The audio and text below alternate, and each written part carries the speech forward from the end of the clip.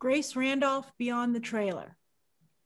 Hi, Grace. Good to see you. It's such an honor to meet you in person. Kind it's of. Twitter. We've always talked on Twitter. Are you? Hang on. Is that really your background? Are you that high up? Yes. Because you know people have those fake backgrounds for Zoom. Yes. That- some people looks- some people think it's fake. It and I'm like, I, I can't afford to animate cars behind me. You gotta see the highway. I'm like, I couldn't afford to do that. We do follow each other on Twitter. It's so nice, but I know you follow a lot of people, so it makes me feel very nice that you intentionally followed me. You're one of the best ones. You're one of the best ones. Ah, thank you. I'm such a fan of your work. Oh, Uh, you know, this was a great show, by the way. Oh, I'm glad you like. Have you seen Oh, all eight? Have you seen the whole thing? I'm sorry, what? You know, all eight episodes. Have you seen? Oh, I watched it in a day. no way! Really? I watched it in a single day. At first, I wasn't sure. I was like, another superhero show. Yeah, yeah. by the end of it, Oh my god! I was like, it's so know. good. I know, but I'm, I'm, without spoiling, how good are the actors? Though I mean, it's the most amazing cast, isn't it? I mean, the cast are. Yeah. I, I was just so impressed. It just and it's it's it, it's so unique. You know, Yes. the, the thing the thing I want to ask you first is when Kick Ass came out in 2010, Yeah. Mhm. there were only three. I looked it up. There were only three other big comic book properties that year: Iron Man 2, Megamind, which counts, Yeah, and absolutely. then Heroes ended. It had its series finale at the beginning of the year. yeah. What is it like a decade later to come into the marketplace, which is just flooded with comic book adaptations? Well, you say that, but it's really weird. I think we've, we've heard about superhero fatigue so much, you know, that every time you pick up Variety or Hollywood Reporter, they say, is superhero fatigue about to happen, right? We haven't had superhero stuff for about two years. Like Avengers Endgame was a couple of years true. ago, now, over two years. Mhm. We had Spider Man very shortly after that, but really very little since. And typically, there'll be seven or eight big superhero projects every year, some years even more. Sometimes it's almost once a month. But because of coronavirus and nothing been released in cinemas and the TV show's not been shot, everything's been held up. It's a nightmare. So I've got superhero starvation, right? I want more superheroes. Yeah. So in a, in a weird way, the, the audience is so primed for superhero stuff now that the last big superhero thing that came out was Avengers Endgame and it made $2.7 billion, right? So for me, that's not a sign of fatigue. That's a sign of we're still climbing, right? This is awesome. yeah. Th- Then, like, it, it was a nightmare. It, was taken away from us for two years and now we're bringing it back. So I think we're launching at the best possible time. We're actually releasing something when we're all so hungry for it. I've watched it about 200 times while I'm in the edit suite and everything, right? Really? I'm still- yeah, I'm still excited. You're that hands on? Oh, I'm a complete control freak. Complete control freak. Yeah, I, didn't- love that about didn't- you. I didn't realize how much I was. But you know, we sold my wife and I sold Millarworld to Netflix in 2017, and uh, then we took on jobs. Like I took the president of Millarworld job, and she's CEO, Lucy. Um, and we sat with everybody and we said, "What show will we make first? And everybody agreed Jupiter's was the one to do first. Um, and they said, "You know, who, who would you like uh, on it?" And I was like, "Well, I've just seen Daredevil season one. Steven DeKnight's awesome. Let's get the Knight in for this," you know. And that was God's three years ago, I think. And then everybody's deals have to get done, and you know you have to kind of see plots how it's all coming together. You get the scripts and everything. And right up until five weeks ago, I was sitting.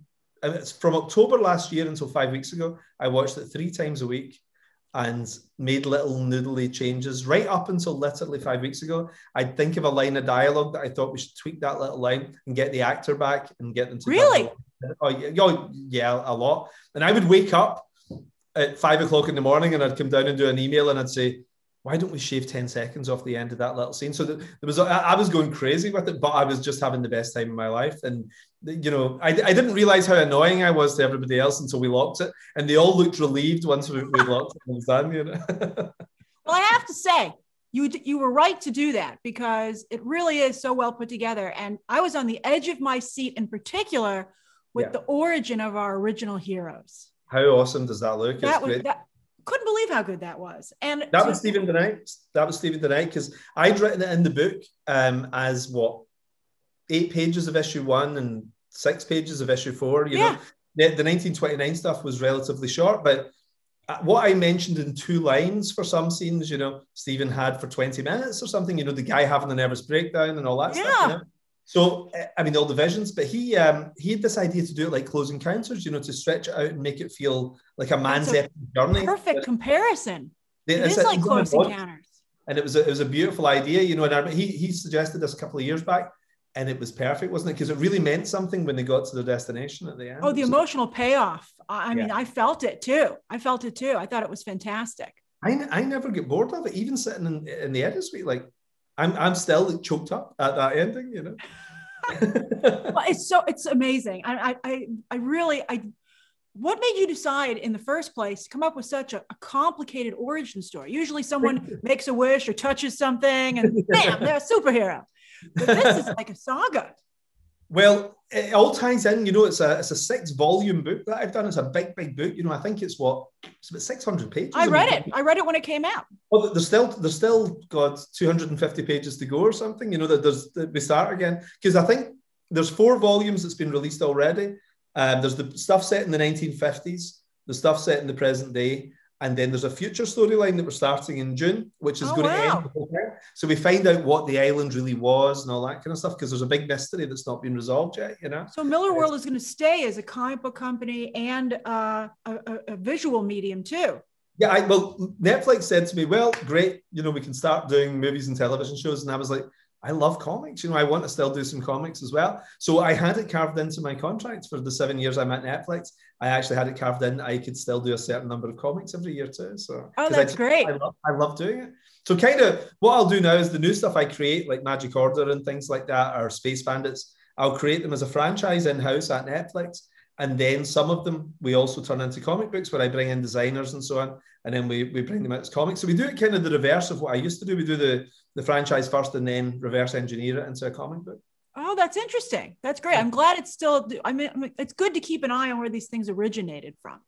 And, you know, I, speaking, comics, right? what? Comics, I'm sorry? Comics is what I wanted to do when I was five. You know, I never mm-hmm. wanted to stop doing comics. I love it.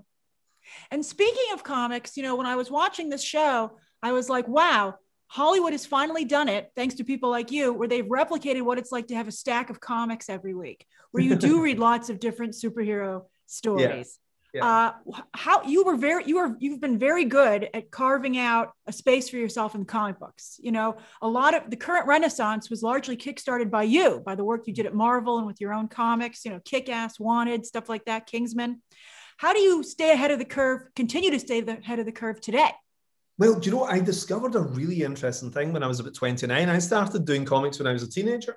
And I, I would always try and anticipate what the audience wanted or what what the what the companies wanted because I'd be trying to get work, you know. So I'd always think, what, what the editors want? And then I, I came to this weird thing where I suddenly, when I was 29, I thought, I'm going to write the kind of comic I want to read. And that has stood me in good stead. It really has. And I think the same thing with movies and television shows. I think, what would I want to see? And so never try and anticipate anything. Just do what you want to see yourself, and and it works. It works every time. So that's great. That's so cool. My final question for you is that I really, really liked uh, um, the Utopian. Yeah. I thought it was interesting to see him try to hold on to this moral compass. Yeah. And it's getting more and more difficult. And I think a lot of people feel that way today in real life. Yeah. You know, can yeah. you still have this like American mor- morality that's kind of like yeah. been made famous by Hollywood? Mm-hmm. and comic books. Yeah. Uh, what are you hoping that people take from the Utopian's journey in this first season? Well, it's funny because everybody's got a different interpretation of this. Because my oldest kid, I've got three daughters, and my oldest one's, oh, he's a bit hard on his kids, isn't he? You know, whereas yeah. my, my parent friends, fellow parent friends, they're like, yeah, he's doing the right thing. You know, he's he's he's a good guy and everything. You know, so it's really interesting. Everybody brings a different thing to it when they watch it. But for me, what I like about him is he's a little bit right and he's a little bit wrong. And what I mm-hmm. like about the, the other characters is they're the same. So the utopian, he thinks we must preserve the status quo. America kind of works. Let's try and keep this together. Whereas the kids are like, I don't like the world I'm inheriting here. I think the place could be a lot better than this. And there's an ethical argument for that as well. You know, like, should we interfere with people in the third world who've got nothing? Should we go and help them? You know, superheroes should maybe be doing more things, stopping people in concentration camps on the other side of the world, toppling unfair regimes. So it's a big ethical argument with these guys, and I love that they're both kind of right. You know, like I'm, I'm on utopian side to some extent, but he's even starting to realize I've been doing. I was supposed to save America 90 years ago, and here we are with the very same financial crash looming that we had in 1929, and America's falling apart again. So I haven't accomplished anything. So I, I kind of like the moral complexity of all. You know, there's no super villains almost at all in this show. It's the superheroes fighting with each other that's really interesting. Yeah, I loved that. It was. I thought that moral complexity, you say it perfectly, was one of the things that also helps this show stand out from the crowd. Who's your favorite character? I'm curious. Who do you like? I really like Ben Daniels as an actor. Amazing, isn't he? So I'm, I'm I lean a little bit towards uh, um, Brainwave. I think he's he's like really fascinating, and but I, I like the whole cast. I thought Chloe looked like she was ripped right from the comic book. Oh, and how good an actress is Elena? I mean, she's like 23, but she's got the gravitas of Meryl Streep or something like this. It's, she's she's amazing. She's going to be massive, I think. And you know, Ian Quinlan, who plays Hutch, yeah, so charismatic. I love yeah. Andrew. The future plans we have for Andrew's character, Brandon, we've got some great stuff planned for him and everything. You know, like I love them all. It's really weird. Matt Lanter is incredible, and Leslie as well. You know, and Josh. I mean, you know what I love about Josh? See, see when we were casting this, like we talked about various people as possibilities, but trying to find somebody who looks like a superhero and can fill that suit, but also has the acting chops to pull off what he has to do because he has to be the young guy who's looking forward to the future. He's the old guy who realizes he's failed. And he goes through the ringer in this. I mean, you've seen where episodes three and four and everything go with him, you know. Yeah. You need a proper actor. So somebody who looks like Superman but acts like Anthony Hopkins. I mean, that's hard to find that guy, you know. But but, but Josh, Josh really, uh, Josh blew everyone away with this. I, I'm so delighted with him. Oh yeah, fantastic casting. I was blown away with his performance as well. Thank you so much for your time. It was really nice to meet you in person. Nice to see you. See you soon.